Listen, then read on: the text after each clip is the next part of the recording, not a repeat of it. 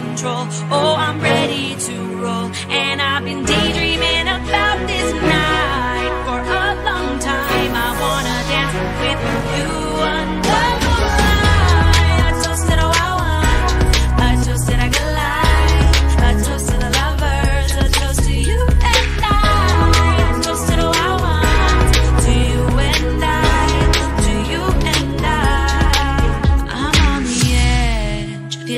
I've been walking on ice. Wanna let everything go and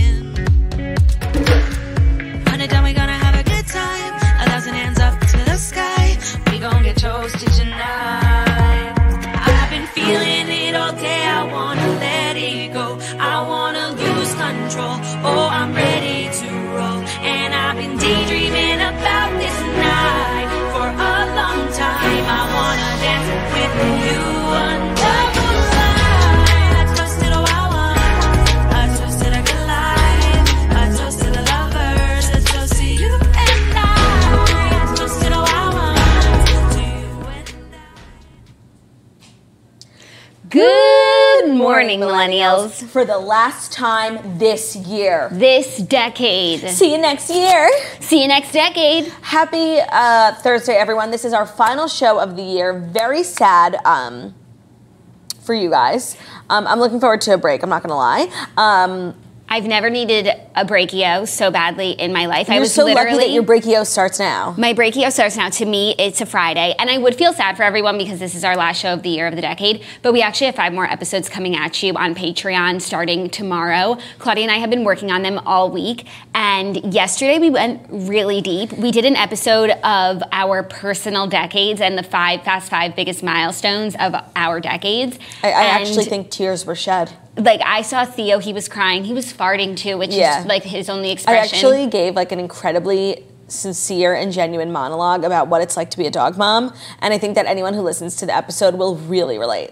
yeah, it really was sincere and genuine, and it was it was quite beautiful. We learned a lot about ourselves this decade. We talk all about it. I don't want to I don't want to I don't want to spoil spoil anything. it. But we also have um, a bunch of other episodes because Yes. we did the top, we did the Fast Five stories of the decade. I think we actually did Fast Ten because there We were did, so many. yeah, we did like all the pop culture stories of the decade, uh, recapping those. We did another uh, Facebook membership um, episode, and then we also did logistics part two, which is like more about our business and how the toast toasts itself. It's just a robust slate of content, one in which I feel as though when you're hiding from your family on Christmas morning, you will really enjoy. I have to just shake up my um, iced coffee because it's all at the bottom. You see that? Ew. Very gross. Very gross. Well, I'm heading to Chicago right after this, which is why the show is early. Thank you for waking up early. Thank you, Jake. Thanks, everyone. Um, and thanks to everyone watching. You know, I'm heading to Chicago, so We're- excited to see everyone. Three sold out shows at the Vic Theater, girlwithnojob.com. Try to get tickets, but you can't. It's 6:30 a.m. Pacific time. Like, if we have any Pacific coasters watching live, like, Thank you. Literally no one's watching, like for sure, right? There definitely has to be one early bird. On the Pacific Coast? Yes. The Pacific Coast Academy? Yeah. Maybe like they work. A, a- no, I guess if they do a morning show, then they would be working. They don't watch right the now. competition. Do you remember, um, like growing up, all you wanted to do was go to Pacific Coast Academy? Of course. Like Zoey 101 in her convertible driving down Pacific Coast Highway on her way to Pacific Coast Academy? Yeah, that was the life. And like then you met kids who actually went to boarding school and they're like, yeah, it's nothing like Zoey 101. Well, because typical boarding school like isn't PCA. Like to me, just because you went to boarding school doesn't mean you went to PCA. Like unless you went to Pepperdine, you didn't go to PCA. What's Pepperdine? Pepperdine is a college. It's in um? California. Yeah, it's where they filmed uh, "Send It On" music video. Disney Friends for Change. wow, what And a beautiful, beautiful song. and a beautiful campus, and that's PCA to me. Send it on, On and on. just one spark starts a fire. Okay, we're both singing right lyrics, but different verses. yes, so no one's wrong. Um, in addition to all that we're going to do today, we are going to recap the trilogy that was Bravo last night. Actually, it wasn't even a trilogy; it was three and a half hours because we had the Real Housewives of uh, what was first? New Jersey, just Easter episode, the saddest episode ever. Then we had the Real Housewives of Dallas finale. Then we had the Real Housewives of Orange County reunion part one. Then we had a housewife from every franchise on the Watch What Happens Live. And honestly, by the end of the night, I was exhausted. My weave was exhausted. My panty liner was exhausted. LeeAnne loves a good period joke. Like, you know everything about me? When did I get my period? she just loves to like take everything so far. I'm not even talking about like her comments from last night's episode, which are just like She dug a level. grave. Oh my god! And them the way that they And did edited the it- episode. No, the way that they edited it to like show each instance. By the way, I and seeing it all together like that, it like really was so upsetting. Yeah. As opposed to seeing it over the course of three episodes and she says it here and she says it there, but when it all comes together and it's like, wow, she really said it so many times in so many ways. Whoever edited that episode last night was on fleek with the flashbacks. Like, even when she was like, oh, I don't remember saying that. And then she owns it to Kary. She's like, yeah, I said that. And then they flash back to her 10 minutes ago saying that she didn't say that. Yeah, it was it was confusing, but no, in general, like her analogies, like the the lining on my panty liner is exhausted. Like It's extreme. It's extreme. Yeah, so we'll be recapping that. Um, I have many thoughts about. I think of all the things I watched last night, Dallas was the most interesting to me. Mm-hmm. Um, and also the women on Watch Happens Live was fascinating, even though they all felt like they were super self-conscious. They couldn't stop looking at themselves in the monitor. Like no one was looking at Andy, no one was looking at the camera. They were all looking. You can always tell when someone's looking at the monitor because if the camera is at here. They're looking here, like it's always a little bit below them, and everyone was just like looking at their legs. And honestly, that's what I would do if I was on Watch What Happens Live, also. But it was like really distracting. No, there was just like no chemistry on the No- set. None. So, but it was int- we got sneak peeks of certain things. so of just Dallas. I thought they were going to show sneak peeks of everything. they should have. That, that would have been game more they played, even though I did go online and vote because I really wanted to see Dallas, and we got nothing. The reason why Dallas won is because we got a preview of next week of OC and we got a preview of next week of New Jersey. We didn't get a preview of next week of the first part of the reunion of Dallas. So like, and they gave us nothing. Like that No. one second between Kameron and and Brandi, like that was that's so irrelevant at this point. so irrelevant. Okay, well, we'll get all into all of that at the end of the show because today's show it is the fast five stories that you need to know this year before you wake up and take a bite out of your morning toast. We are going to re- be recapping the We biggest. also have a crunch sound that usually. Oh goes. my God! Sorry, but you, you said it differently than Not usual. re- I so just added forgot. this year. You know, I just forgot. it's gonna. so um, we're gonna be recapping the top five stories of things that you needed to know this year, things that shook us. I'm assuming I don't know because I haven't seen them. I'm assuming you know the mysterious disappearance of Jeffrey Epstein is on there. Of course, there. of course. Um, and just things that really shook us this year, recapping, and now like taking a, taking a step back, looking back in hindsight, like what did it mean? Mm-hmm. You know? Yeah, honestly, I was thinking about it while I put the list together, and it's like it didn't mean that much, you know. Really? Just in, you'll see. I I have five stories, obviously, and then I'll have like subset A and B because there were a few more than five things that I felt that we needed to talk about. I understand. Um, before I let you know what those things were, I feel like there's something you want to get off your chest. You feel like you're being burdened by something. You know what? Some things are just they're better said in song. Ready? okay. We got that attitude. We got that attitude. Today's episode is brought to you by Ettitude. If you want to get the best sleep of your life, you've got to try Ettitude sheets. They're super different from other sheets. They're feathery soft. Um, I can attest to that, seeing as how I have slept with them now for a few months, and they've truly changed my life. And also, I had my housekeeper come yesterday, and she cleaned them and then put them back on. And like, honestly, there's nothing that compares to clean sheets, especially when you eat in your bed as frequently as I do. Like, you've got to wash your sheets, and I really don't. No, the the joy of fresh sheets. It's just the small joys in life, and when Yes. they're ettitude sheets, the joys are even larger. The best part about Ettitude, at least for me, is that they have cooling technology. It's made of organic, clean bamboo. It's extremely breathable and it regulates your temperature to improve your quality of sleep. I talk about once an episode how I wake up with a sweaty neck like all the time when I'm sleeping, but thanks to my Ettitude sheets, I have it severely calmed down and now I don't have like frizzy hair at the back of my neck because I wasn't sweating all night. It's also antimicrobial. Some customers have claimed that their skin's appearance has, has improved after switching to Ettitude sheets. Read the reviews and see for yourself. Also very true. People don't realize like not washing your sheets or your towels, like and then washing your face with the towel or like sleeping on dirty sheets can contribute to like adult acne. Um, their organic clean bamboo is recycles 98% of the water that it uses, so it's the most sustainable bedding available. Cotton uses a ton of pesticides and wastewater and is very harmful on the environment. If you want to give the gift that a recipient will love and future generations will thank you for, give the gift of attitude. We got that attitude. The Amazing Sheets have a 30 day risk free trial. If you're not fully satisfied, you can return your sheets for a full refund. They even cover shipping on returns. Um, this is bedding for the educated, conscious customer. It's 100% organic. Um, ettitude Sheets, they're soft as silk, breathable as linen, but at the price of cotton. You or that special someone you buy them for are going to love them. And right now, our listeners will get 20% off their sheet set and free shipping. Just text TOAST to 64000. The only way to get the 20% off your set of Ettitude Sheets and the free shipping is to text TOAST, T O A S T, to 64000. Again, text T O A S T to 64000. All Sign on, sleep amazing. All right, let's jump right in. What is the first story that really shook us this decade? The first story, in no particular order. Wait, where's your iPad? I, I don't need my iPad. Why? I, because it's not like the It's not an actual news story, it's just like a recap. a, yeah, so it's like we, we've re- we've covered these stories, you know the facts. It's just like your iPad looks so small. I just brought it just in case I needed to research something. Yeah. But it's really just a note on my phone today's episode. So crazy. Um, the first story, in no particular order, perhaps chronological, but not even, the college admission scandal is the story of the year. Very controversial. And you know what's so crazy? And I'm sure this is the case with a lot of the stories of the year because they were the stories of the year. Like it's still ongoing, you know? Yes. Well, not for Felicity Huffman actually. She is she can sleep at night knowing she paid her time for the crime that she did and she can move on with her life. But like for many of the people involved, it is still an ongoing legal issue and, and an ongoing trial. Yeah, so we don't have that many answers, um, except for Felicity Huffman. I'm, I'm very happy for her. Know that I am. That it's over for her. It was also, she can um, put this behind her in this decade and move on to the next decade. And it really was the story of the year, but it was really divisive. It was such a controversial topic, and I feel like it's going to be something that is really spoken about at people's like holiday dinners because so many people are on different sides of it. Like so many people think it's like you know the embodiment of privilege, and it's you know so wrong, and then some people are like it's not that big of a deal. It's like what parents do for their kids. Right, and I feel like I've been on the roller coaster of emotions, thinking like it is a big deal, it's not a big deal. Like when I first found out, I'm like, okay, who cares? I thought rich people like always bought their way into college. I didn't even realize it was illegal. And then like the more you learn about it, like my my opinion on it has developed over time. Um, and I just know like I can see people fighting about this. Did you watch the SNL skit um, of people fighting at their holiday dinners? Yes, so funny. really funny. I enjoyed it. Good stuff. Um, yeah, just like you know, ju- this is the epitome of justice. Is it? Well, um, hopefully. Depends who you ask. Right. Well, Felicity Huffman, I feel like justice was. I mean, it was a slap on the wrist, but she went. She did the to pay the time. I don't think it was a slap on the wrist. I think it was that was like the max. Like, she went to jail for two weeks for getting her kid into college. Well, yeah, but if you like look at what other people who aren't famous have like gone prison time for the same crime, Yes, I know, but it's I'm just considered saying, a slap on the wrist. I'm saying judging it on, on its own, not comparing to other things. Just like Oh, does the punishment fit the crime? For me, yes, but in the grand scheme of the world, like as it relates to people who have like been sentenced to five years for like doing something similar, it does seem unfair and like a slap on the wrist. But yeah, I guess. okay. Next up, speaking of justice, Justice Smollett.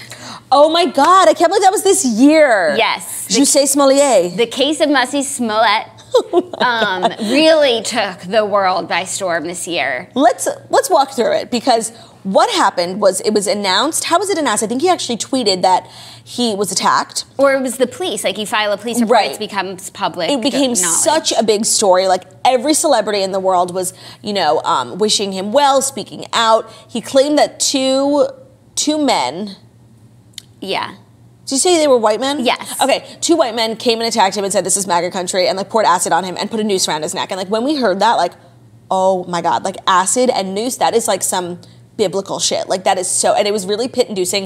And I think it took the world by storm in the way that it did because the details were so specific and so horrible. Like who could even So dream up? horrible. Who could dream up? Something so evil. Well, I'll tell you who can. Mussie Smollett. Because then, and you know what was so weird was like all the details weren't adding up, but nobody was going to be the first person to be like, low key, like I feel like this isn't true because it was so terrible. And if you were wrong at- in doubting him, like you're an asshole. One thousand percent. But was anybody saying that even before there was Evidence. any shred of evidence? Like no one would hear that story and be like, I don't believe. I don't. I mean, Well, I well- truly don't believe it. Well, if you listen to Dave Chappelle's special, he didn't really believe it because he said, Who gets Subway sandwich at two in the morning? In the winter in Chicago, it's like freezing, you know? So, no. okay, but maybe most that could have meant he wasn't really going to Subway. Like maybe that part was wasn't true. but Finessed. yes, for the most part, everyone believed him. I don't know, remember what it was that caused like this spiral of people not believing him, but it, and the security footage of two people buying acid and a noose, and they were uh, Nigerian. Then. Um, the fake check. Oh my God! That, by the way, of all the things like that happened in the Mousse Smollett case, I would have to say the most um, interesting and hilarious one is the check. It's like you're going to be illegal and you're putting it in writing. yeah. Like pay cash. You're on a network show. Go to the ATM, bro. And then also like the police, like the police were doing their jobs and they were realizing that this story didn't really add. Right. And you know, that's like the whole um like the greatest the worst thing that came out of this was like the the waste of police time and resources. And that's what we were talking about yesterday about like the girl who like faked her Amber Alert. Um like where's the punishment for that, you know? And there should be. There should be. But they they were building a case against him and then like mysteriously dropped it. Yeah. Mysterious as hell. Very mysterious. Very just as mysterious as maybe um Our the next Jeffrey story. Epstein. Oh yeah. The the death of Jeffrey Epstein. Well, I, I was- Excuse me, the death. Well, no, I think he's dead. Some people could say he's not. So I'm just for safety, the alleged death Okay. of Jeffrey Epstein. The alleged death of Jeffrey Epstein, but also the whole year of Jeffrey Epstein because first it was he was being brought to justice. right. And that was such a great time. We were so naive back Oh my then. God, we had everything was on the horizon for us. Everything. You know, people were going to be taken down, justice was going to be served, and then on one warm summer's night, a Foul swoop. one fell swoop, it's over. It's over. I cannot believe. I, I remember I was drunk when I found out that Jeffrey Epstein was murdered. And I just remember being so like enraged and like, it's not possible, you know? Yeah. It's like a dream. Yeah. No, it's like let's go back in time. But again, I'm so proud of us as a culture for not believing it. You know, it's like, and we're not letting it go either, No. which I'm loving. You, there was actually a breaking news in this story yesterday was that the sur- surveillance footage outside Jeffrey Epstein's cell um, that was being used as evidence in some some trial has mysteriously disappeared. Yes. The prosecutors claim they can no longer find it. Yeah, from his suicide attempt, his first one. Ah. The surveillance footage from that. So yes, this story continues to enrage America. They keep trying to pretend like we're dumb, and I'm glad that we're not letting this go. And even though I find the memes and the jokes and the stupid fiction pictures on Instagram and the tweets to like really start to like annoy me now, like Epstein, this ornament didn't hang itself. Like it's just it's not funny anymore. But we can't let the narrative stop. So I'm not angry about it. I'm just like I'm low key subtly rolling my eyes, but I ain't Yeah, mad. like you don't have to keep tagging me in every meme. Um, Please stop. stop tagging me in memes and giveaways, please. What is with the giveaways? Okay, I know it's not a story, but this was the year of the Instagram giveaways. No, it's it's out of control. And now what I've been doing is anytime I get tagged in a giveaway and I'm silly enough to click on the tag and then I scroll all the way up the caption to see that it was initially a giveaway, I reply to the person who tagged me with a question mark. and then some, like literally one person responded. They're like, "Oh my god, I'm so sorry. I just wanted to win. I, you were the first person I could think of." Well, that's sweet. No, and then I was like, "Okay, girl, let's win this giveaway." but it wasn't a good giveaway. By the way, and I can't don't believe. even look. Wait, the best part is out of all the giveaways I've been tagged in this year, I haven't won one. right, deeply upsetting. Seems like the odds are stacked against me. right, like because y- you have been in so many giveaways. No, no, so many giveaways. And because I'm between Instagram accounts, every time I log into Club with No Job, it's like, you've been tagged in 75 comments. I'm like, oh my God, I'm going sorry. viral. no. Then I'm like, these people must have seen my TikToks. No. At Club with No Job, Girl with No Job, The Morning Toast, Jackie O. Enter to win this free, inst- I'm always getting tagged in, Or- like, win a Polaroid camera. or this ornament didn't hang itself, or it's like Target having a toasty water bottle. Uh, but you know what? Keep tagging me in those. I Yeah. actually really appreciate it. It gives us good inspo for our merch. It definitely does. Okay, our next story, I'm gonna do subset A and B because Okay. I know the first part you don't want to talk about, and I just have to mention it. Oh my God, is it Khloe and Tristan? Of course. And Jordyn Woods. That was the biggest fucking story. Red Table Talk. That was, and so that's subset A of love triangles. Wait, we also never spoke about how a recent update to that story is that she went on Red Table Talk again and took a polygraph test. That is from the first time she went on Red Table Talk, um, but they just released it for some reason. Wow, they did her dirty because she looked so fucking thirsty going back to Red Table Talk. Wow, if I were her, I would be actually upset at Jada Pinkett Smith. Yeah, and also like they weren't asking the pertinent questions. Like nobody thought that they had sex. Literally never, because in the timeline of things, there was no time for sex. No, and that was never the The question. the uh, accusation. the accusation was Did you not tell Khloe first before it came out in the news, and did you not even apologize to her ever? right, and did you kiss him, which you said that you had done? Right, and, and to like- me, it's like that's all I need to know. You kissed your best friend's Man. Baby sister's daddy. man. Okay, Goodbye. the most important. Goodbye. What the goodbye, goodbye. Goodbye. You know what they really should have asked her that they didn't ask, and I think is the most pertinent question, was their tongue. That changes things. Yeah. And I feel as though there was tongue, but when she said to Jada Pinkett Smith, it was really like a peck. And you, nobody pecks like these days. I like I don't even peck my husband. Like, what's the point? right. Like honestly, I I don't even peck Theo. Like we fully make out. There's Watch tongue what you say, shadow band. I don't care. I'm proud. Okay, we don't need to spend that much time talking about it because we already It- have. and it was such a tumultuous time. And we also have other segments of this show that aren't just the stories of the year because, like, honestly, they're the stories of the year, which means we talked about them to death, which means we really don't want to talk about them anymore, but we're just going to recap it for you so you know where we stand in 2019. Yeah, but we have a lot of other things to do. We do. Um, next up, some happy news royal baby Archie. Oh, really? You would, is this the fifth or fourth? Um, this is the fourth. really? I don't know if I would consider this. Did they get married this year? No. Mm. I don't know. A royal baby, and when it's Meghan and Harry's baby, that is big fucking news. And for some reason, we didn't like consider it big news on this show. Like we talked about it, like we talked about any other story, just because it feels like we're always talking about them. But like, ba- and the name Archie is the best royal name I've ever heard in my life. Whenever I think Archie, I know I think I should think Riverdale, but I think Shannon Beador's dog.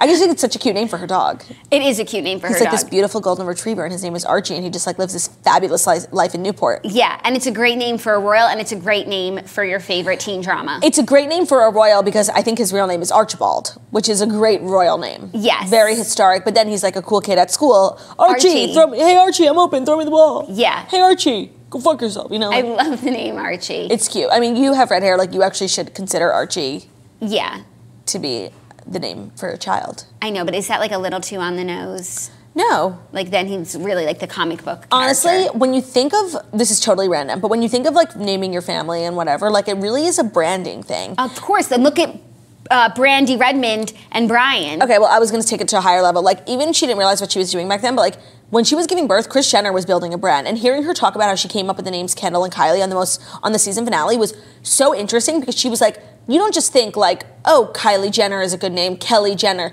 She was thinking of it as Kendall and Kylie, which ended up being a huge brand. Like, she was a fucking genius 30 Yeah. years ago. Yeah. And the way that she not only like obviously gave all of her names, her kids' names with K because the last name was also K. When it came time for Jenner, like you'd think she would be over it. No, she was still building a brand. Yeah. And she continued on with the K's and then came up with a dynamic duo, Kendall and Kylie. Like she is just watching her just like subtly explain how she like became the marketing genius that she was, like at the young age, just like being a young mom, still thinking of like the branding of it all. Same with Brandi, Bruin, Bryan, Brooklyn, and Bronwyn. what's the what's the well behaved, behaved kid's name who like wasn't st- Brinkley. Yes. That's actually really cute. Actually, I know we are going to talk about it in a minute, but like that party was so sweet. that party was so sweet, and I know that like Brandi Redmond is no Kris Jenner, but like she's well on her way. She's well on her way to building a brand of Bruin, Brinkley, Brooklyn, Bryan, and Brandi. Bryan Brooklyn. Br- Brandi, Bra- Bryan, Brooklyn, Berkeley, and Bruin. No, no, no. But you have to go in order. I know. No, I did. Bryan, Brandi, Brooklyn. Ready? Brandi, Bryan, Brooklyn, Brinkley, Bruin. Great, Done. Wow, great. nailed it. Great. Okay. By the way, would you ever do that? I mean, but you and Zach have totally different. no, but I have some plans for like a thematic situation for my kids because you know I'm always in theme. Me too. I actually plan on having four kids, and regardless of their gender, they're going to be winter, spring, summer, and fall. That's horrendous. I know. I bet there's a family out there. of course. You know something funny? One of my friends growing up, Rachel, um, everyone in her family had names that started with J, and then they just randomly named her Rachel. That's weird. Like Jenny, Josh, Jessica, Rachel. Weird. yeah, it's like you were on track with the branding. There's so much that goes into it. Yeah, and I love when you really think about it um, from like the like from a marketing perspective. Yes. Now I have to incorporate that into my name list. Yeah, I have no ideas thematically. I have a, a few thematic ideas, but then it's really limiting. Right, and then gender. Right. You could have like two boys and two girls names, and then come out with six girls. right. But these days, like gender, gender is fluid, and gender names names are fluid. That's true. You know, Like, do you consider the name Blake a boy or a girl's name? could be either. I can. Mm, no, it's so either. What about Dylan? So either. Right, Sam. Girl. Just because my friend Sam is a girl. Yeah, and what's a full a Taylor. Samuel? Taylor is a girl's name. Yeah. Like besides for Taylor Lautner, the real Taylor Lautner. Okay. Are you ready for our fifth and final? And it's a subset A and B. Wait, Oh, I'm sorry. I forgot subset B for story three. oh God. Okay. It was about love triangles. And for me, like, I know this probably doesn't rank so high for every, I'm sure it does actually, but I feel like it really took this show by storm. Let me think. A love triangle. Mm-hmm. Not really love triangle, I just was trying to position it so it could be Brad and Jen. B. Jen. No. What is it?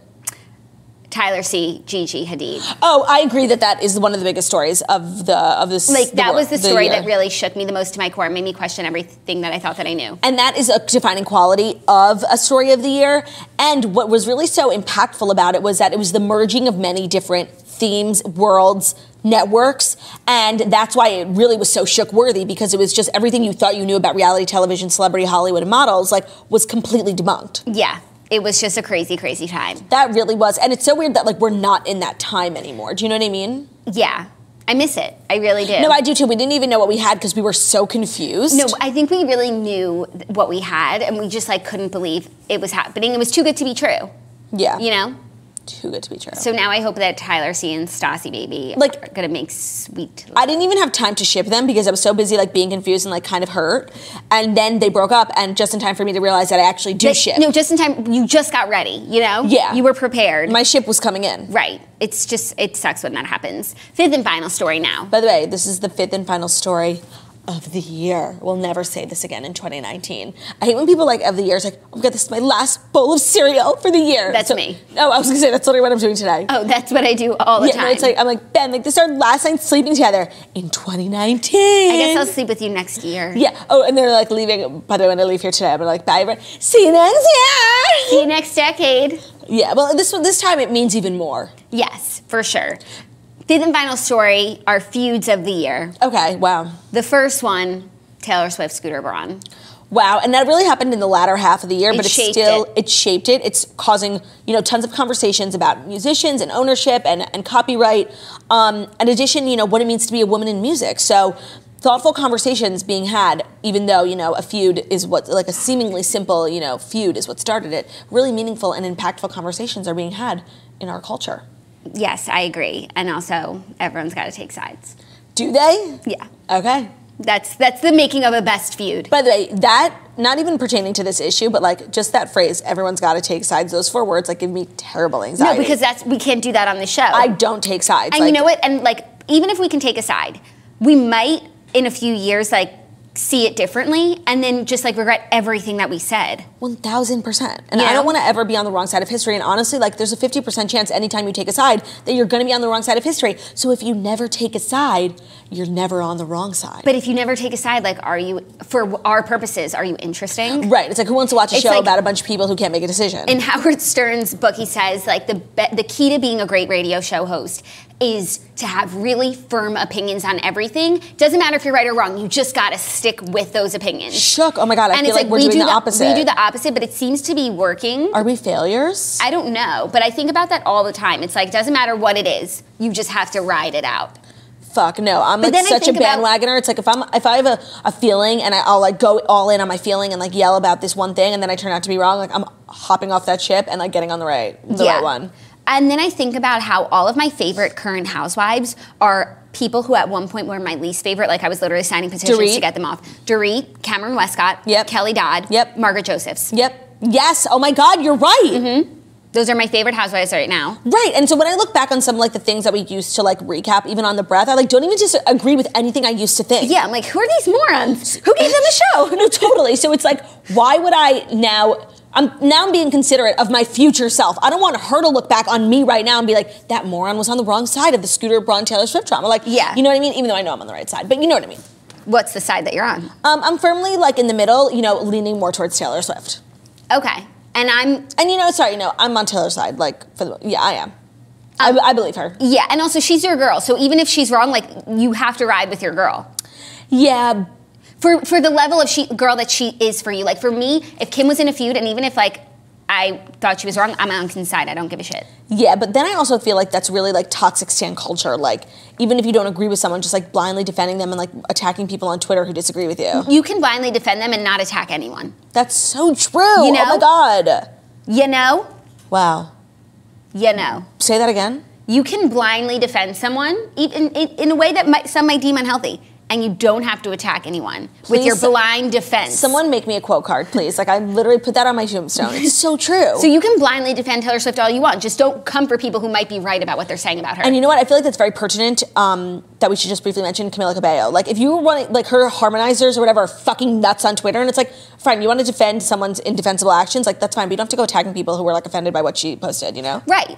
Like, but also it goes both ways. Yeah, no, everyone can have an opinion without like hating each other. I know that's like a foreign concept here in 2019, but like I'm firmly like that is my resolution in 2019, or not even a resolution because I feel like I do a good job of that. But my hope for 2019 is that as a culture, we can learn to have more meaningful disagreements. Yes. and not just go below the belt. It's very Real Housewives. Like mm-hmm. you can disagree with someone without calling them a pig face. You know? Mm-hmm. Yeah. Also, I just Or saying that they threw their mother down the I just want to say about being blindly loyal. Like Kim might do. I stand Kim. I ride or die. I think she's so smart, and I agree with everything that she does. So if she did something that I personally disagree with, it's like I trust that she did the right thing for herself. Right. You know what I mean? It's like maybe from the way I'm seeing it, it doesn't look that way, but like what I, I But we don't know everything. Right, and I trust all the decisions that she makes otherwise. So I'm going to trust this next one too. I feel like that is a very smart way of looking at stan culture, but so much of stan culture is like younger people who just aren't at that level of maturity yet. Yeah, but I think sometimes their naivete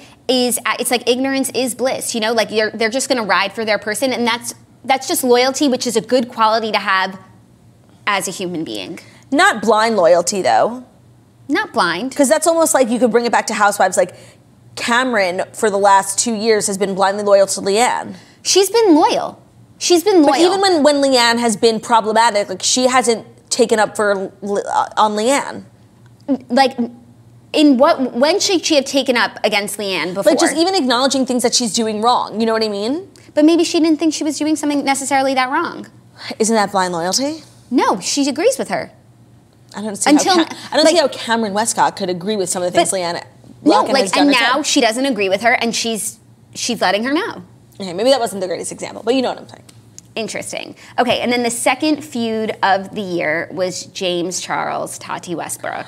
Oh my God. Oh, and I listened to a majority when I was getting my nails done of the um, Podcast. podcast with Trisha Paytas and Jeffree Star, and it was just so good. Jeffree at one point um, like smokes a joint and then really opens up like just about everything in his life, like about Nate. About he's like, and he, it's so crazy how he's so aware of like what people say about him, and he really doesn't let him bother him because like even people I know who like I know like on a personal level, and I'm like. By the way, like you're a Jeffree Star stan, and they're like, yeah, and we just like talk so much. Everyone like apparently has something to say about Nate about how he's gay for pay and just like is with Jeffree for the money and is like likes women, um, and was like DMing with people like to have sex with girls. And Jeffree like was so open about all that, just being like, of course, like it used to bother me, but like it bothers. I'm sure it bothers Nate, and like he just knows like even the worst things that people say about him, and he like doesn't let it bother him whatsoever. It's actually so crazy.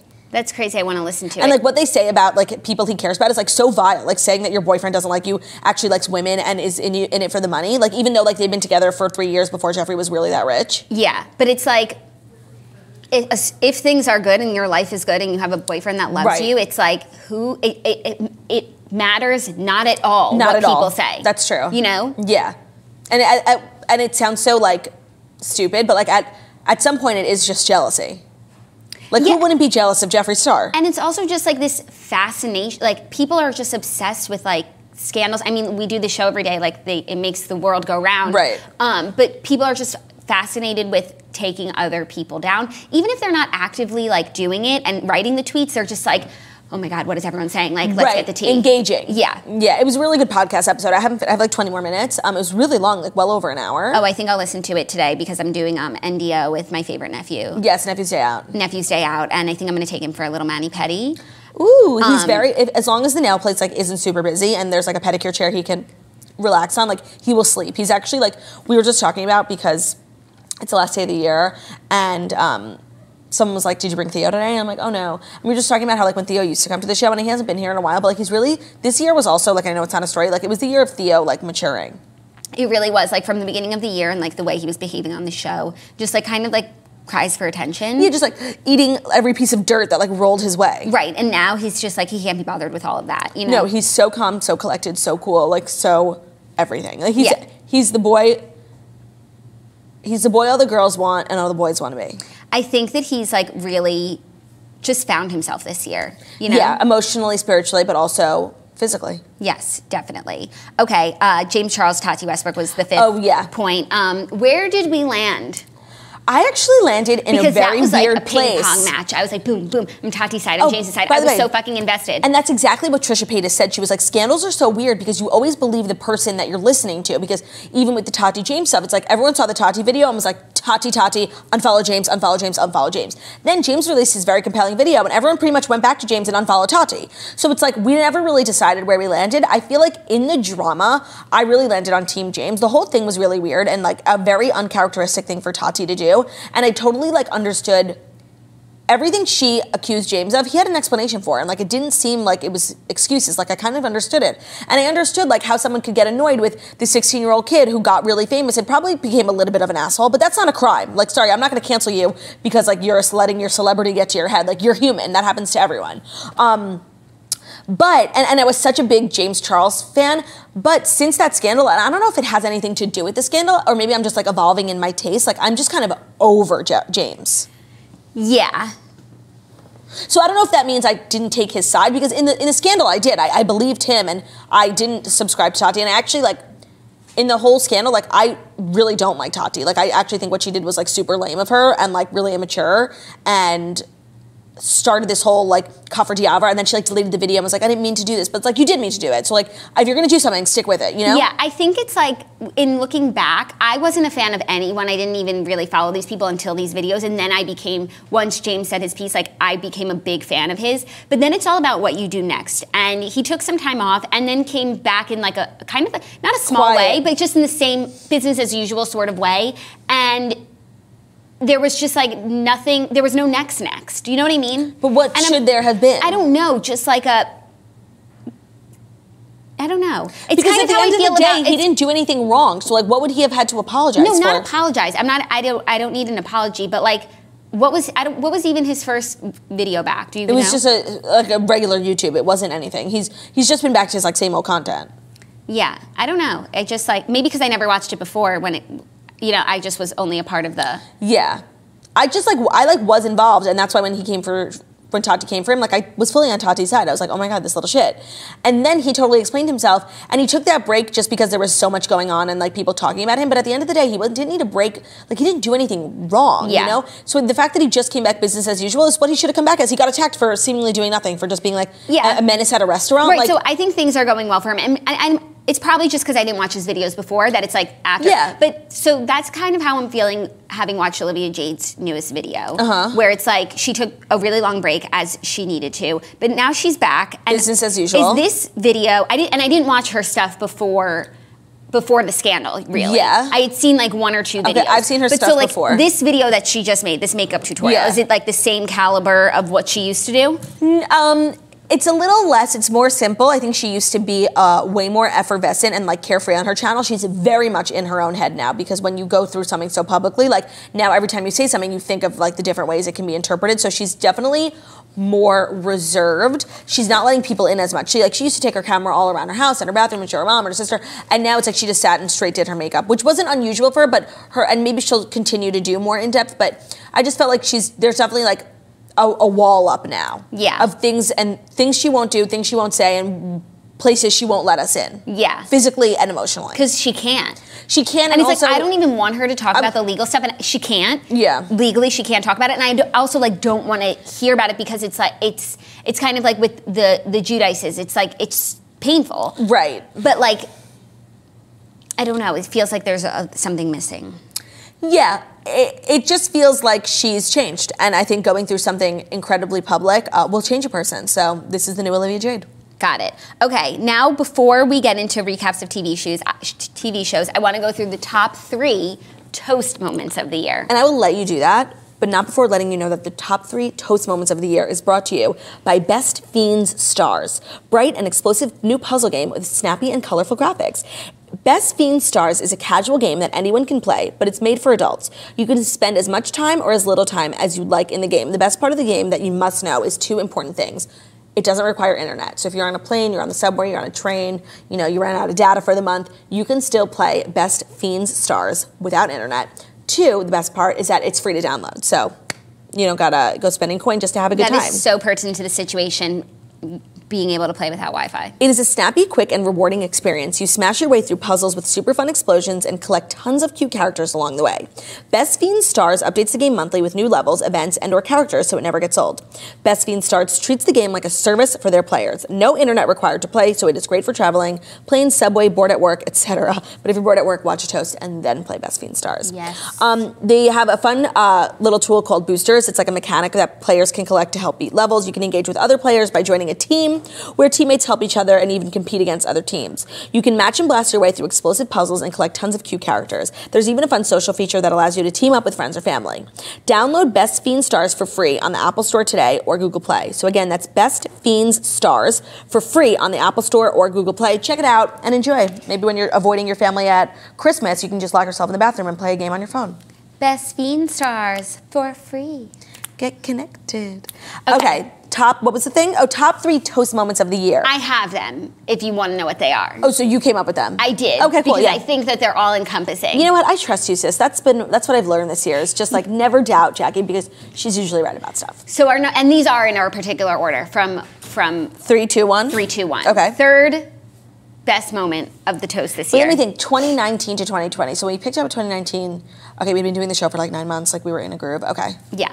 Third best moment was the exclusive performance of Toast that we received um, the day that the song came out and the speaker died, but our spirits did not.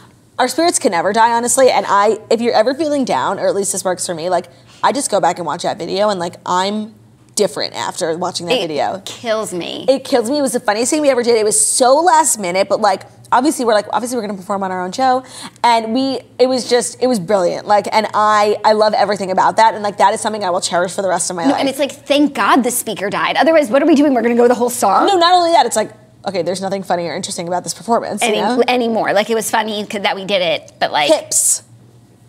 good Hips. stuff. Okay. Second best moment of the toast this year, the Jonas Brothers, when they came on our show. Oh my god, I was like, did I miss something? yes. Oh my god, Halloween is always a staple here at the Morning Toast, Mm-hmm. but having three prestigious guests who are so handsome join Right. us was And- just everything. Like that little clip of the video that they did for us before we went live. That was really nice of them to come all the way out to our studio while they were on tour. Like they flew the jet, they landed right outside, and just not only did they show up, they posted premium content on our Instagram, and I will forever be grateful. Like that video makes me laugh every single Me time. too. And it's like you have to spend the video watching a different one of us every each time. time. I think you truly are the funniest, like with your little yellow head. Oh, like, Oh, yeah. it's so funny. Like, all jokes aside, I love our Halloween episodes, and every year we do Halloween, we come up with an idea, and I'm like, damn, it's not going to be as good as the year before because there's so much pressure, and I'm sure I'll feel that way next year too. But we started out with just like us doing each other, and to be honest, I was like, we will never do anything as funny. Then we did Kim and Kourtney and Kris, and like honestly, it was kind of like a like a basic idea, but we did it You so were not well. into it. I was not into it. I just thought it was too easy, and it's like not that funny. yeah, like everyone dresses up the, as the Kardashians. Right, but I think A, we all looked really good as the Kardashians, and B, like the role playing. And there was that was such a hot time for Kardashians. It was like the lunatic episodes. Yeah. Like um, Kourtney and Kim were fighting so much, and we were Kourtney and Kim. It was perfect. But really, what brought it home was the Kris Cam Of and course. Kris Snitch Jenner. And then this year, I was like, damn, okay, I thought we couldn't top. Last year, I thought we couldn't top the year before, so we definitely can't top it this year. And Jonas Brothers was just so funny and so pertinent, and they also have like an interesting dynamic that we got to play on when we were being like role playing, and it was just, it was excellent. I love Halloween. I love Halloween. If you ever want to laugh, also go watch that video. I, my favorite person to watch is Margot because knowing she was sick, She had and, strep throat, she was but, like, miserable. her being sick like made her more Kevin. Because quiet. Yeah, and it was just so cute. Okay, and the number one toast moment of the year. Can we get a drum roll from you? Closed on Sunday. Yes. Oh my God. Two musical performances in our top three. And maybe I'm thinking we should perform musically more often. I agree. And I chose Close on Sunday as number one because it was an iconic moment. Like, we brought a piano to our show, Snitch, like, played the claps. Yep. And you sung an unreleased Kanye West song. And, like, what? no, it's also, so. the It's so- fact that, like, Kanye Reached sent out. you sheet music for a song that hadn't been released yet, like, is the craziest thing of all time. no, literally, there's so many parts of it that are so epic. I think what we ended up creating content wise was brilliant and great for views and tons of clicks. But like the meaning behind it, like the fact that we got reached out to by someone with an email account at Yeezy.com. Like, Right. I just.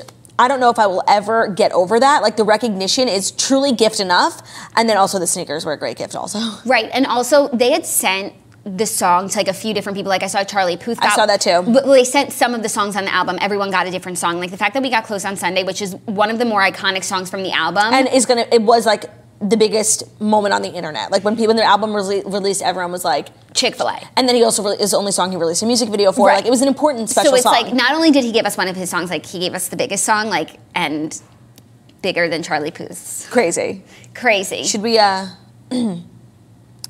No more living for the culture. We nobody slave. Stand up for my home.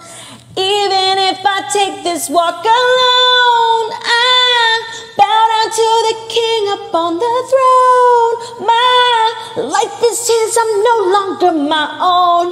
Nah, back up off my family, move your hands. Okay, I'm on like a high falsetto, like I need to relax, I have a show tonight. Like I can't be like busting my vocal cords. And the fact that we only have this cheat music, which tells you how the tune goes, but that we pretty much got it right. No, that a was couple very of impressive. amateurs. Thank I- you, Music Theory. Thank you, Mrs. Lee. Thank Lee. you, Mrs. Lee, for those torturous music theory classes that we had used to have to th- sit through on Sundays once a week because we were closed on Sundays. Yes, exactly. Wow, what a great year for us! Like those are three moments like I can be proud of. yeah, it's been a really great year for the toast. I'm so excited for next year for the toast. Me too. Like there's so many, and I hate when people announce special projects, and we're not going to announce special projects, but there is just like so much in store for everyone. Like Yeah. when when we come back, like you are just going to be, you're not going to believe like how much we've changed. You know, Uh, yeah, I think it's going to be our best year yet. It's going to be our best year yet, and we just like love the toasters and everyone who listens to the podcast, et cetera, and the people who watch on YouTube every day and like pop off in these comments. Like you Thank guys Are, are just the best, and like we love we love the toast. We love doing this, and we look forward to making it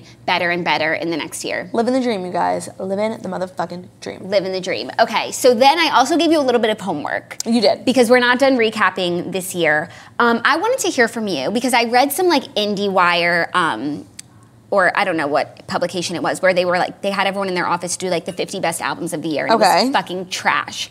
So I wanted to hear from you what you thought, what your top five songs of the year are and your top five albums. I have my list as well. Okay, you go first with songs. Okay, my number one song of the year was my number one played on my Spotify, and I think it just like it shaped my year. And also, I was realizing because I was thinking back on my year, it got me to spend like a lot more money this year. On like concerts, merch, like No, the song Seven Rings by Ariana Grande. Oh. Just like gave me some sort of mentality. attitude and mentality that like I need to go buy seven Cartier rings and like I Right. see it, I like it, I want it, I got it. Um, that I, song just like shaped my year. I was my number one song that I listened to, and I think it's the most the best song, and it just like really made me want to shop, and I did, and I need to stop. okay, seven rings. Second song of the year for me, Beer Never Broke My Heart. It's Thousand percent. Like the best country song of the year, perhaps of the decade, and I suffered serious neck injuries because of it. Okay. Third song of the year for me, Old Town Road. Okay. It's obviously everyone's song of the year. Um, I fucking love that song. I love the Mason Ramsey uh, remix and the Diplo remix, and I just love what it did for for the country and the world. Yeah.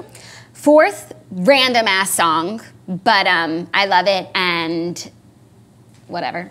On a Roll by Ashley O. I'm on a roll. By the way, you don't have to justify your answers. You No, know? but it's like they're kind of random, and these weren't even the top five that I played the most.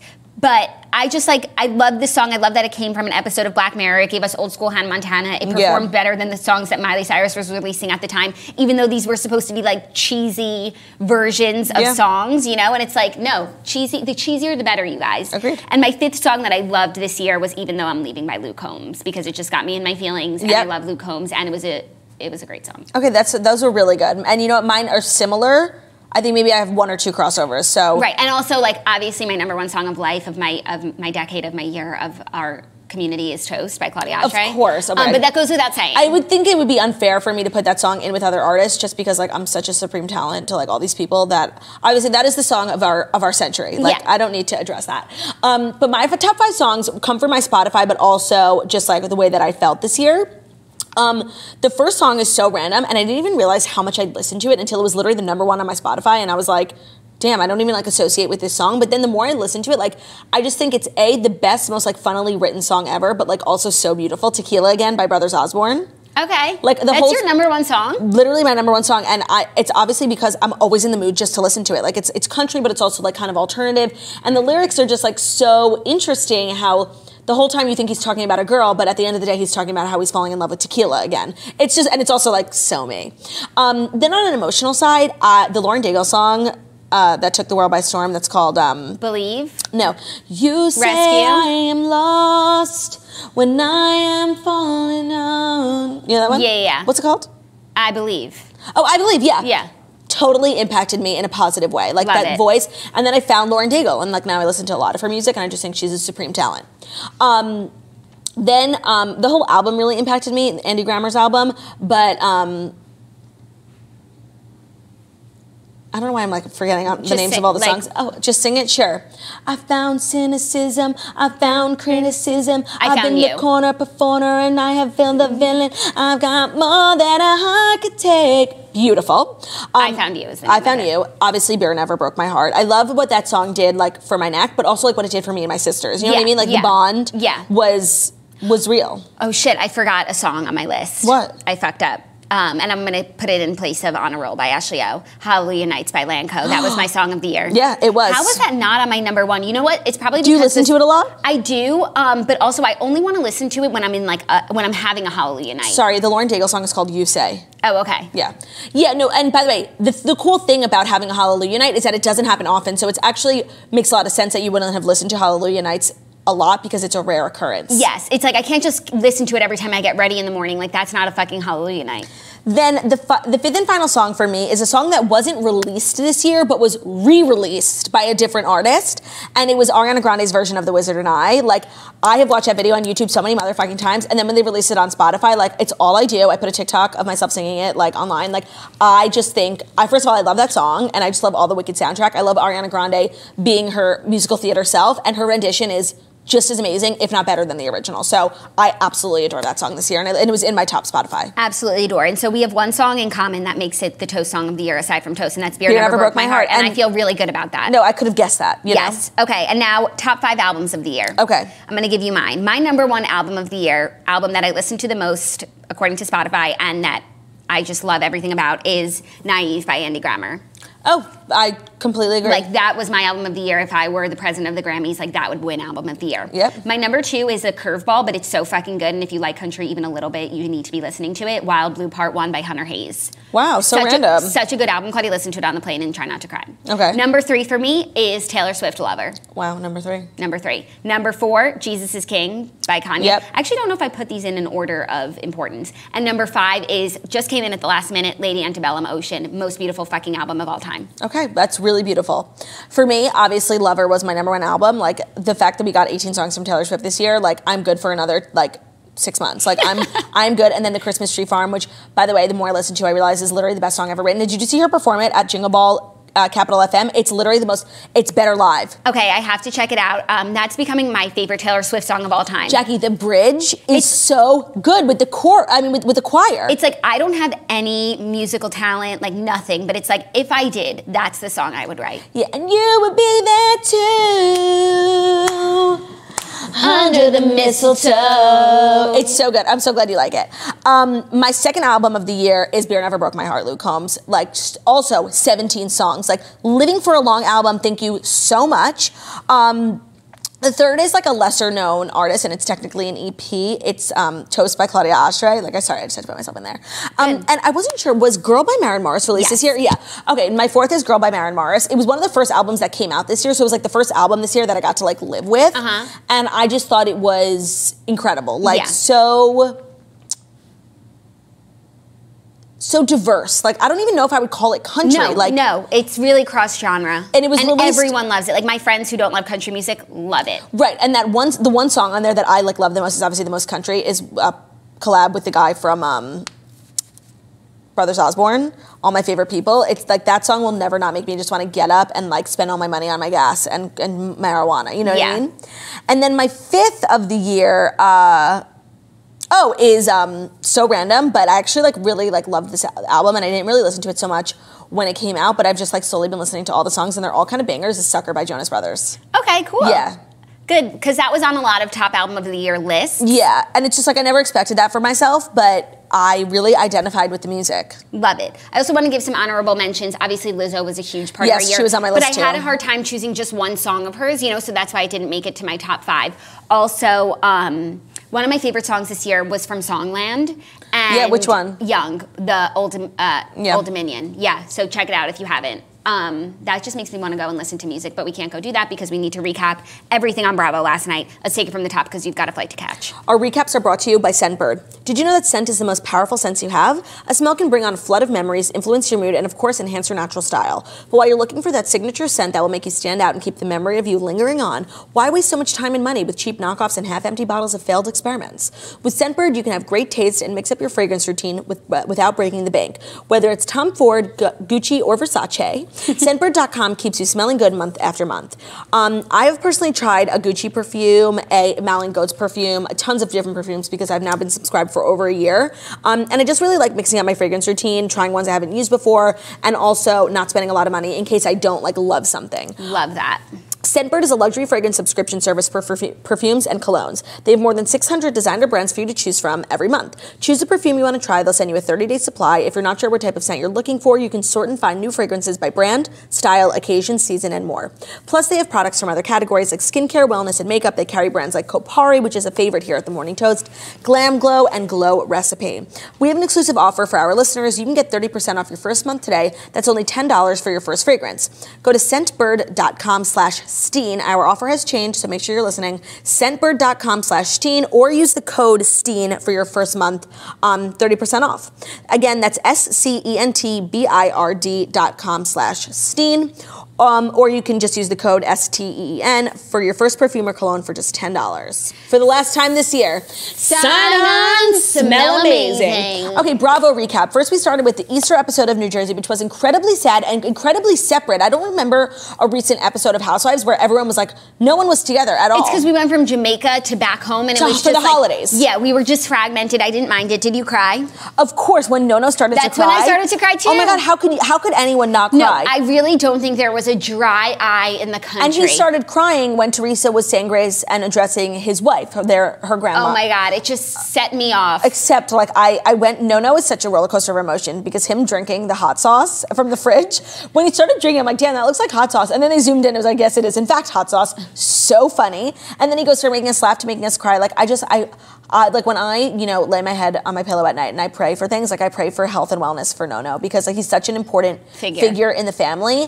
And he's finally now alive to see his family getting along so beautifully. That's also why I was crying. It's like these people have been through like the worst of the worst in the most public ways. And it's so terrible that it took like this tragedy, like, to bring them together, but like now it's like they're thick as thieves. Like nothing can ever tear them apart. Like Melissa, the way like Joey Gorga has like stepped up for these kids, like I couldn't stop crying. Like when he got on the phone with Joe and he was crying, like he is such a role model for like all the kids in the family, and he's really like stepped up and he's there every day taking them to school, cooking. Like he does everything, and like I just like stand Joey Gorga to the highest degree. to the highest degree like and i stand melissa and joe and they're just doing everything right also like seeing um, antonia and her cousins like they're literally all sisters it's the sweetest thing i was crying it was it was just like too it was too much and and joe i mean we know eventually he goes back to italy but like he needs to fucking go He needs to get now. out of that that ice. And I don't know if, and I'm not a mom and it's not my business, but I don't know if Teresa not telling Audriana was the right move because kids know stuff and like she's talking about it right in front of her, like she knows. yeah and it's i guess she's tall for her age because she feels a lot older than they're Bitch. treating her Also, she looks like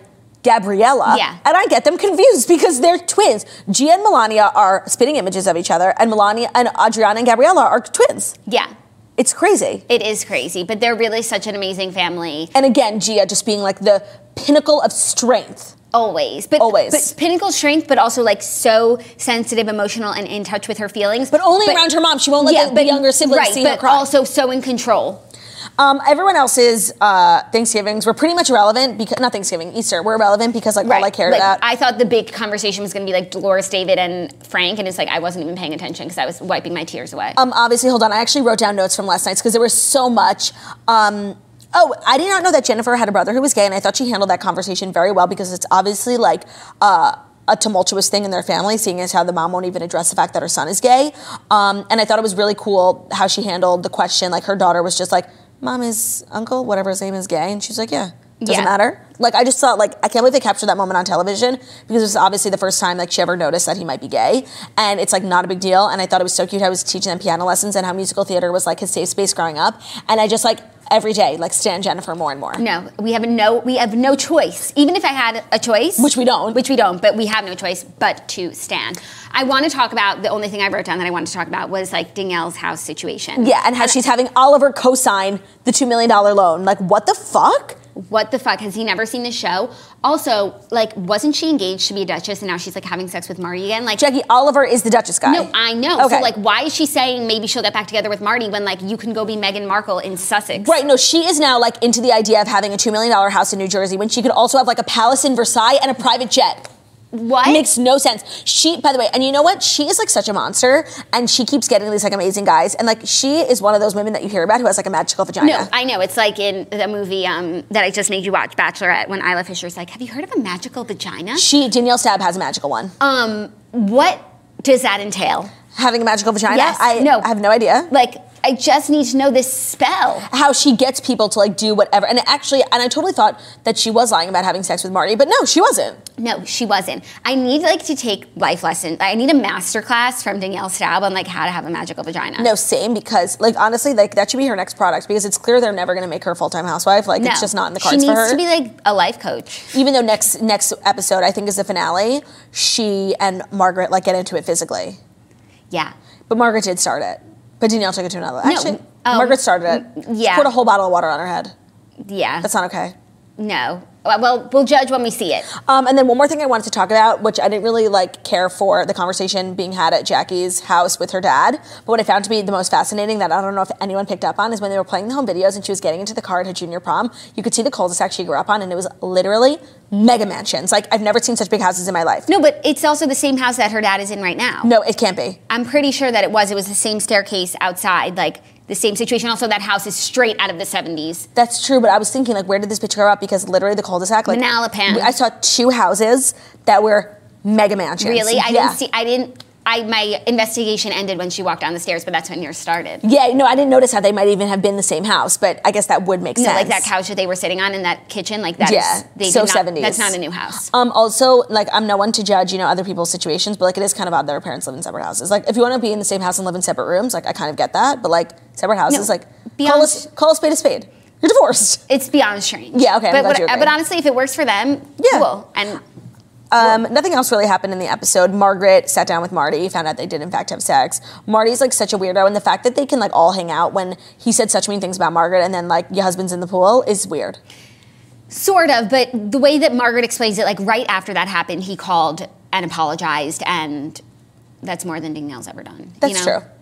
Um, okay, let's get into Dallas because that was like really the meat and potatoes of the whole night. Mm-hmm. Um, here are the things that I wrote down. Okay, on the count of three, let's say who the star of last night's episode was. Okay, Yeah. three, two, one. Kameron. Court Westcott. Oh, of course. The star. The Westcotts. The Westcotts. Okay, here I wrote down everything that I thought he was so great at. When he gave great advice before the party, sitting on the bed, being like, "You have to tell Kameron." He was very eloquent. I just thought he was giving Kameron the best advice for Kameron because that's the only thing he cares about. And I thought he was like really sweet and not like a lot of these husbands like brush off this drama. Like, no, he was actually invested. Um, then in the car when she was being, Kameron was being like so slow to get out like the actual thing, and he's like. That's said, not all. That's not the whole story. Yeah. Like, come on, loved that. And then he was the one who took the picture at the end. Like, I just. Oh my God, he was so cute. And when he came over and got Kameron and was like, Rachel from whatever and wants she's to like, talk to Where's you." Rachel? He's like, there's no Rachel. No, by the way, and he's right. Like, I, Dallas is very society driven, and Kameron is the heart of the society. And honestly, like, LeeAnne had a bad reputation before, but not based off of anything like really substantial. Like, now you have to go, like, get away from her. Like, Yeah. she's toxic. Yeah, and Kameron did like what she needed to do. She said her piece, and she really went toe to toe with Leanna. And she was like, "I'm not scared of you. You, should be scared of me. And she didn't mean that in the way like I'm gonna bite you or hit you. It meant like I am everything in this town and Yeah. you are nothing. Right, and like even though sometimes I might act like I'm in deference to you. Yep. I am aware of how it works. Yeah, I thought she was very headstrong, and I, I know that was hard for her. Like, No, I, and that really confirmed everything that she's always said about herself, where it's like she pretends to be dumb, but she's actually smart. And I don't even think she pretends to be dumb or that she's smarter than she seems, but it's like she sees. yeah. That's how Kameron sees, sees it. Another thing I wrote down was that before they went to the party, Kary um, and her husband went to dinner, and then Every time they sit down to dinner, I get a pit. I'm like, what are we fighting yeah, about today? you know what? It was like she had obviously never had this conversation with him that she's been telling the women and telling us in confessionals because he said okay and then they kissed. Like her whole storyline could have just ended the season if they just had a conversation. Right. Except they still don't have a house. No, and um, when the producer asked Kary, "Do you think you're going to spend the rest of your life with Eduardo?" and she gave the funniest answer, she's like, "Not if he doesn't give me what I want." Like honestly, she's a, a boss, but like I don't know how you go back to having a marriage like after you've said that on public television. You know? Yeah. I don't I, I respect it. Like I just I respect people who are honest about their issues and it's so easy to be like we're going to be together forever. But that's not how life works and I think because she's been divorced, she like sees that, you know, and she's realistic and I I I, I stand. Yeah. No. By the way, love her. Like she has to come back. I absolutely adore her. Um, I thought her husband's reaction to finding out uh, what LeeAnne said about her was absolutely hysterical. Calling her, um, he said, "Remember the Alamo," Hilarious. and then let's get into. And that was the name of the episode. Oh, was it? Yeah. It was a great response. Yeah. Um, and then Kameron was like, "What's the Alamo?" um, let's get into the actual meat and potatoes because Kameron was one who started. You're loving whole- meat and potatoes. Because today. you know what? It's um, it's really the only pertinent phrase. Yeah. So Kameron starts the whole thing. She takes uh, LeeAnne down and basically just gave her a warning. She was like, "I just want to let you know, like what you said was not okay." And I told Kary, and I'm glad that she did, and that LeeAnne didn't get like said like LeeAnne got to fully be faced with her with her charges. Mm-hmm. Um, and then Kary came over. It was all like a great.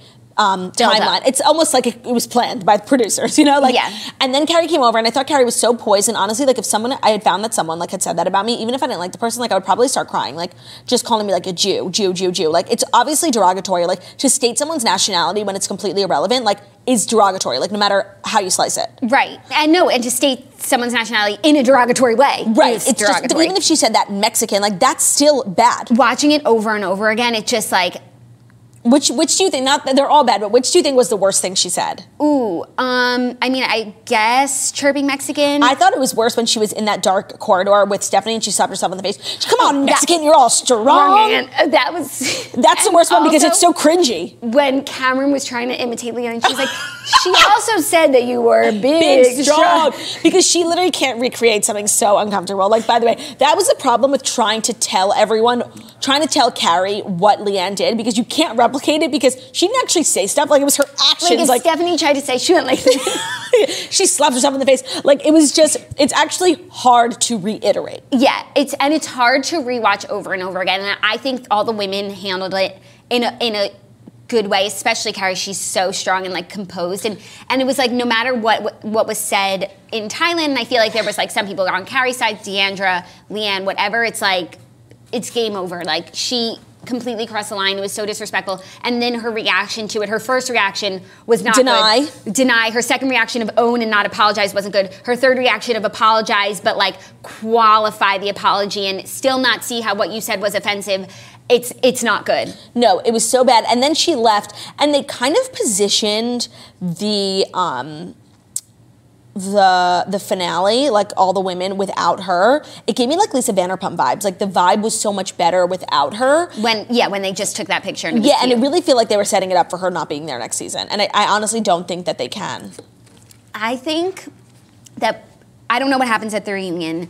I think that Bravo's going to wait to see what the fans want. Yeah, I, I think it, her time might be up. Yeah. even though like just from a, a straight like perspective of like the show like leanne does every season like be the center of the drama like i don't know what we would actually do without her but i do think like bravo has to take some sort of stand like that there has to be a line in housewives in atlanta it was drawn with phaedra i do think this has to be a line Also, um, based on like what LeeAnne's been tweeting or posting to Instagram, it doesn't seem like she's taking it very seriously. or that she's like sorry so it she's just brushing it off she's like obviously i'm not racist so it doesn't bode well. yeah i don't think she has handles it well at the reunion Yeah. Speaking of reunions, we got the OC reunion where like they acted like Vicki was a secondary cast member. Meanwhile, she's on for the whole thing. Right. I understood why she was getting fed up, but she was acting just like so entitled. It She was, was annoying act- and being she- rude to everyone who she works with. No, no, that is so not okay. Like, no matter how you feel, you're annoyed, whatever. Like, this is your job, and like, you can't just be so rude to production. Like, these are people; they're not like your slaves. Yeah. she was being so rude, um, and, it's, and even yelling at Andy.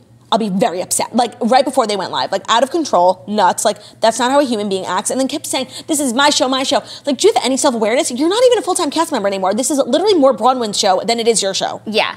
She fucking hates Braunwyn. Even on Watch Drama's Live, she could not stop saying mean things about her. Honestly, the reunion was just a mess. 500 conversations going on at once. Kelly and Tamara couldn't stop fighting, and then in the middle of real conversations being had. Yeah, dumb, dumb, dumb. It's because they start off with the small fights, they build to the bigger fights. We'll get the Kelly, Shannon, Tamara fight next week, but it's like until that is addressed, it comes up in every other fight, and it's almost like they should just start with it. To- by the way, it's so true. It's like silly because they're they try to go chronologically, but they end up working backwards. Yeah. Also, like our girls Emily and Gina, like they were breaking my heart for a second. Breaking my heart, but I like that at the end of the day, like They love each other. they love each other and it's like that is a real friendship and i have a lot of hope for them so like i was getting really disheartened seeing like well i guess that's where our friendship is right now but then obviously she got up and gave her a hug like i thought it was great I, this is what i wrote down bronwyn looks so different do you notice like i don't know maybe she's only parting her hair in the middle for the first time but she looked like a completely different person she has a completely new hairstyle right now. I love it. It's just like a sleek blowout. I thought she looked great. Me too. I, I don't know why it looks so different. Emily had a walker because she did get her hip surgery. Very pertinent this week. Walkers. Her and Jeffrey Epstein. I mean, sorry, Harvey Weinstein.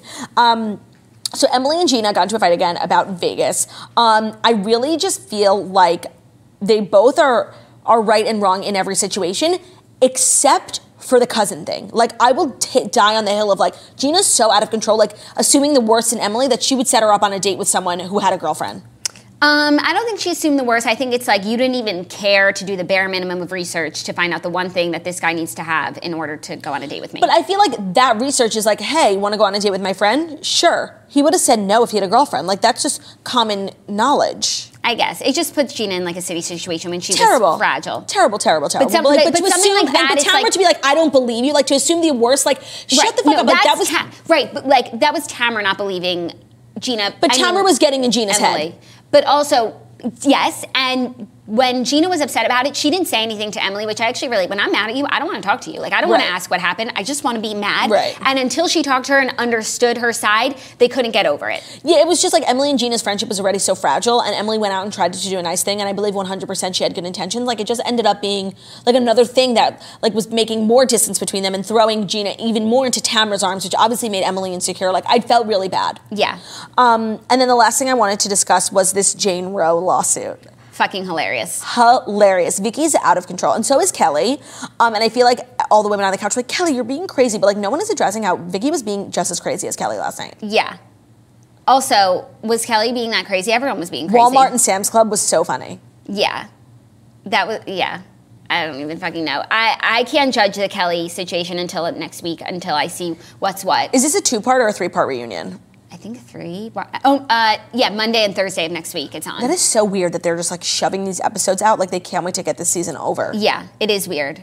Very strange. But then when we come back, we have Vanderpump Rules wow. and Randall Emmett's on the cast. Dead, and they have the wedding. I wonder if I'll be in the background like for a second. Oh my god, that would be so exciting. Honestly, I hope not because I ended up feeling so fat in that dress. no, I'm sure you looked beautiful. Yeah, I did. Um, before we wrap up, I just want to say everything we're thankful for this year, and it starts with YOU. Yes, what a great year to be a toaster. What a great year to be a host of the Morning Toast. We can't thank you guys enough for making this show what it is. We have had so much fun Mm-hmm. um, living the dream. Like, I can't believe that this is our job. Um, and thank you guys for just continuing to support the Toast, support everything we do from the merch to the Patreon to live events. We can't wait to see you all at Camp Toast. Like, this ecosystem only exists because of the people who are in it. And that's you guys. So thank you for. see you, and we love you. And thank you for being just like a positive light in the treacherous world of 2019. Hopefully, 2020 is a little bit brighter. yeah. That's For- all we can hope for. That's all we can hope for. We want to thank everyone at our studio who's Yes, here. Vayner Productions. Thanks we for love you hooking it up. guys. We want to thank everyone that works on our show. Audio our, Boom. Audioboom, our agents, At William everyone Morris, who, Barry Ben, Julia, Marcus. everyone who deals Gabby, with us on a regular Mike. basis. Um, thank you, Claudia. Oh my God, thank you. Honestly, thank you because as much as 2019 was the year of the toast, like I also feel like it was the year of the Dirty Jeans tour where I got to like live my dream, and I only got to do that because there was someone back here like holding down the fort. Sitting through co-hosts that were like a little rough, taking care of Theo. Like you are literally like my right arm. Like, and I would die without you. And the show would not survive if it wasn't for the tenacity and the hard work of one Miss Jacqueline Oshry. Thank you, guys. I this is my dream job. There's nowhere else I'd rather be. Um, let's do a little quick resolution. Do you have any resolutions? No, I find resolutions to be like the lamest thing ever. Except that we said earlier in the episode, like some things we wanted to do better next year. Yeah, no, I want to um, control my temper and um, yeah, I really feel like I'm a perfect. Like I'm in love with myself. I think I'm so smart, funny, cool, and like who wouldn't want to be my friend? So honestly, resolutions are for broken people, and I'm not broken. No, I'm totally kidding. It's good for you for trying to better yourself. Honestly, I just don't have enough time, and I feel like I'm, I'm good enough. Yeah, you're learning as you go. Like you're making Yeah. changes every day. Why only start on January 1st? Right, like that. That's for people who don't actually want to make changes. I've been making changes every day. Also, want to say a big thank you and that we love you to our TNN family, our Yes. ever growing TNN family. Lots Check of big things happening in TNN next year. Yes, there's new episodes of Mood by Lauren Elizabeth, The Snatchler, Date Night with Raven and Adam. Such good stuff. I have to listen to this week's Mood with Lauren Elizabeth because I hear we're spoken about. We are, we are, and she actually said she gives us like a really nice like moment. I'm so excited to Me listen too. to it. Um, and that's all she wrote. My sweater is obviously from shopmorningtoast.com. I think this is the, my favorite outfit I've ever worn. I wish it was Christmas because I'm ready to just like you're so you're a rockette. No, I'm ready to go down to Radio City. Um, and also, if you are missing us, head over to patreon.com slash the morning toast because starting tomorrow and every other for the next five work days at 10.30 a.m., there will be new podcast episodes of Claudia and I really going through everything. Yeah. So there's so much stuff. I feel like we, like you and I, we've done five podcasts this week and it's just I know everything about you, sis. Right, and it's like there's so much we talked about this week that we didn't talk about in this show, so it's like we're referencing stuff. Totally. So if you miss us, patreon.com slash the morning toast. Also a great gift to give, shopmorningtoast.com for great gifts, stocking stuffers, stockings themselves. And for the last time in 2019, thank you so much for listening to the Morning Toast, the Millennial Morning Show, where we go live Monday through Friday, 10:30 a.m. Eastern Time on YouTube. So if you're watching us on YouTube, please feel free to give this video a thumbs up, subscribe, and write a comment about how beautiful, stunning, and smart we are. We are also available as a podcast pretty much anywhere podcasts can be found. So that's iTunes, Spotify, Stitcher, Public Radio, iHeartRadio, Castbox. So wherever you listen to podcasts, please subscribe, give us a five star review, and feel free to leave a review about like I don't know how genius we are and how this show is literally the greatest thing since sliced bread. It's up to you. Take creative control. We love you guys so much. Have an amazing New Year. Happy holidays. Don't drink and drive, and try not to kill your families while you see them for Christmas. Bye. and if you feel like you're going to, just put on an episode of The Morning Toast. Mwah.